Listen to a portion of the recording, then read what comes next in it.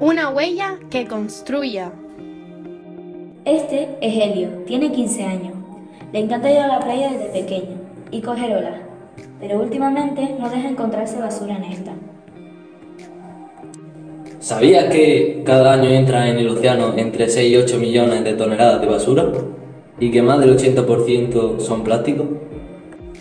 Todo esto contamina el agua. Helio no piensa quedarse quieto, está seguro que quiere un futuro limpio, quiere que su huella transforme.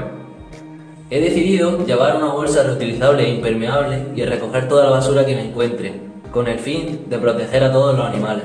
Además, no tardo nada en tirarlo al lugar que corresponde.